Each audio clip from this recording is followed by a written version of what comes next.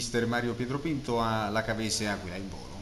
È la prima volta che lei parla alla stampa dopo la vittoria del Città della Cava al Doni Rocco di Campagna. Credo che la partita vinta a Campagna abbia dimostrato più delle altre volte che il Città della Cava ha meritato di essere arrivato fin qui al primo turno dei playoff nazionali perché ha messo in campo qualità e soprattutto carattere. Ma sapevamo di andare a fare una partita da, con un solo risultato per quanto ci riguardava, che era la vittoria, e di incontrare una squadra che nel giro di ritorno aveva fatto sfracelli, 10 vittorie di seguito, per cui sapevamo dell'importanza e della validità della squadra avversaria, ma non, sicuramente sapevamo anche noi che cosa potessimo esprimere eventualmente in una gara come questa, soprattutto in virtù anche di un fatto, nel giro di ritorno, come dicevo ai più, è vero che nell'arco del campionato non avevamo mai vinto un confronto diretto con le squadre che ci, ci sopravanzavano in classifica, però nel giro di ritorno non avevamo mai perso. Abbiamo perso una volta sola. No, con le squadre che ci sopravanzavano non avevamo mai perso. Eh, no. E avevamo fatto sempre ottime partite non centrando l'obiettivo della vittoria. Poi eravamo consci della responsabilità, abbiamo preparata per bene durante l'arco della settimana, nessuno si aspettava magari una formazione del genere, avevo della qualità dei giocatori, abbiamo approfittato di ciò e soprattutto avevamo caricato a mille questa squadra affinché potesse eventualmente ribaltare i risultati e darci ragione.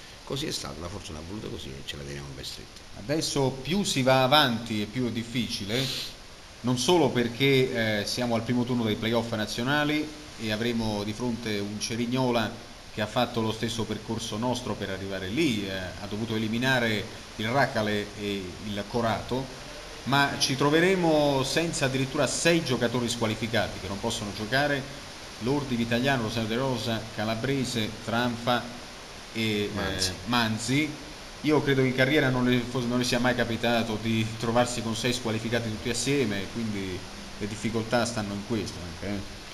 Eh, sicuramente è brutto anche perché sono giocatori che stanno in due reparti fondamentali per quanto ci riguarda, centrocampo e difesa, tutta la difesa titolare tra virgolette eh, sta fuori, insomma. però faremo di necessità virtù, se questa squadra ha dimostrato di avere un cuore che batte dovremmo puntare molto su questo. Abbiamo di fronte una squadra molto molto equilibrata, molto, molto fisica, molto aggressiva, è una squadra che difficilmente ti concede e soprattutto però c'è da dire anche un'altra cosa, che è una squadra che nelle quattro partite che ha fatto nei playoff non ha vinto neanche una volta. Ha sempre pareggiato. Ha sempre pareggiato, per cui la dice lunga anche su quel modo di interpretare le gare e il carattere che ha questa squadra. Quindi verrà sicuramente qua nella prima gara che gli compete, cercando di non farci giocare nonostante fossimo magari in condizioni particolari. Però noi siamo convinti e sicuri di quelli che abbiamo, di quei pochi rimasti, che cercheremo di vendere cara alla pelle cercando di gestire il tutto. Come ti dicevo l'altra volta negli aggettivi che hai usato, io mi, mi intromisi dicendo che dovremmo fare una gara giudiziosa. Noi interpretavamo proprio quel tipo di pensiero. Noi qua dovremmo ripetere la stessa gara, molto molto giudizio,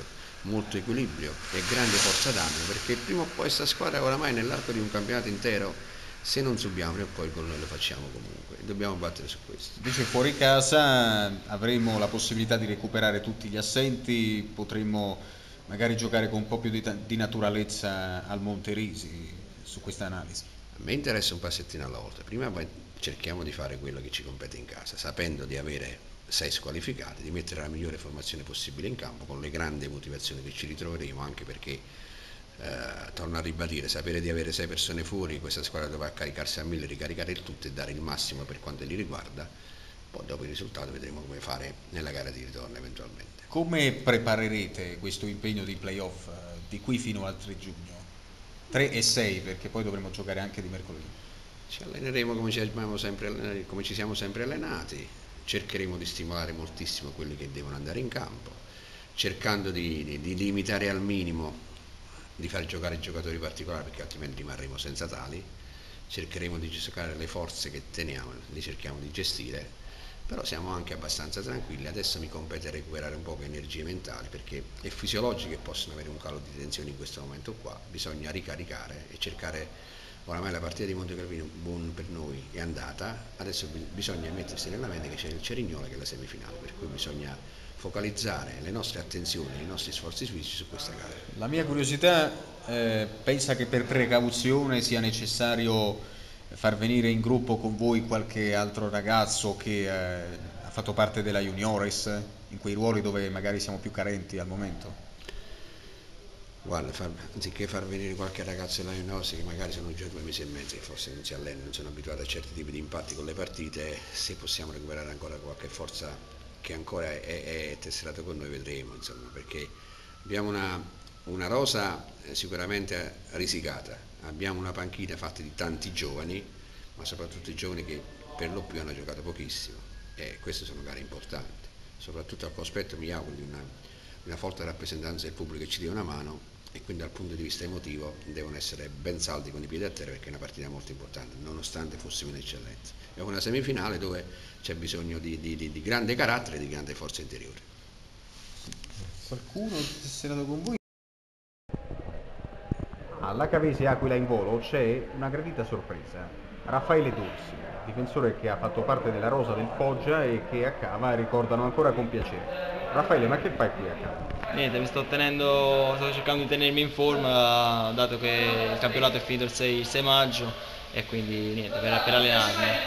Tra l'altro ci viene in mente che tu conosci perfettamente il preparatore, conosci perfettamente Cesarano e mi sembra anche qualcun altro, eh, quindi non hai avuto difficoltà insomma, a ritornare qui, a ritrovarti con della gente. No, vabbè, ci sono anche i magazzinieri che sono messi a disposizione e niente, mi hanno accolto qui, siccome le strutture sono poche, quindi ho trovato spazio dove ecco, venirmi ad allenare, eh, nella stagione 2010-2011 certo non è stato il tuo periodo più felice come calciatore perché hai fatto una sola presenza a Cava e per giunta di 60 minuti a Taranto, una partita difficilissima, dopo sei stato rivalorizzato prima da Bonacina e poi anche da Stringara e di nuovo credo dallo stesso Bonacina, dunque a Foggia ti sei diciamo rigenerato come calciatore?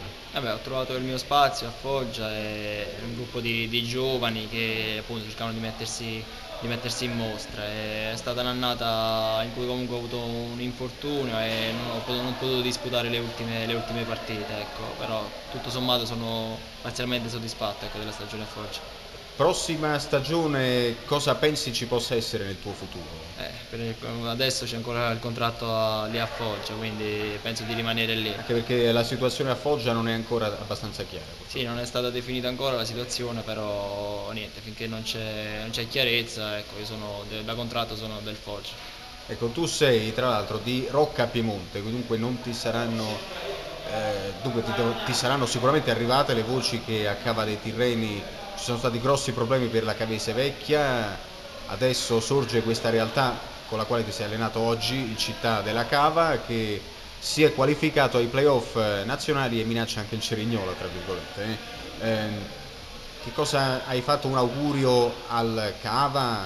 Sì, mi hai auguro... parlato con i giocatori? no, mi auguro che possa risalire al più presto. Cava è una piazza importante e spero che, che ritrovi nel spazio nel calcio professionissimo, nel calcio che, che merita. Ecco. Quindi mi auguro che vadano bene questi playoff e, e niente, riescano con successo. Se accadrà, pensi che in un prossimo futuro ti potremo rivedere a Cava? Sei del 91, quindi hai tutta una carriera a disposizione. Per adesso sono vincolato al Foggia, poi chissà, il calcio, il calcio riserva sempre delle sorprese, quindi non mi dispiacerebbe sicuramente, ecco, ritornerei molto volentieri a casa. Ringrazio molto per la disponibilità.